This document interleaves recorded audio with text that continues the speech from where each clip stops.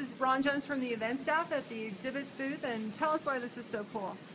Well, I think this is so cool because even just this one event here, the photo, you know, an hour in this one little area, because it's just so amazing. And also the fact that there's adults that have the contest, and there's also children. So you see, people are that sometimes we forget that.